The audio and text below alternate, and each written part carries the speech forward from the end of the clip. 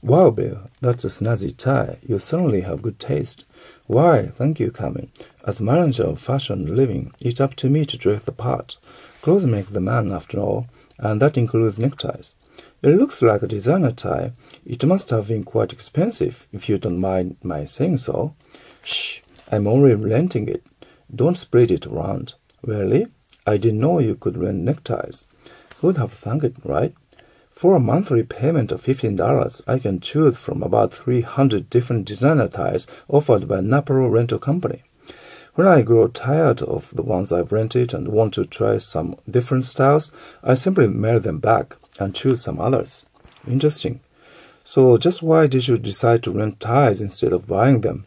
Well, like I said, it's important in my job to present a smart, fashion-conscious image to my business associates and colleagues, but it's expensive to buy the latest in designer neckwear.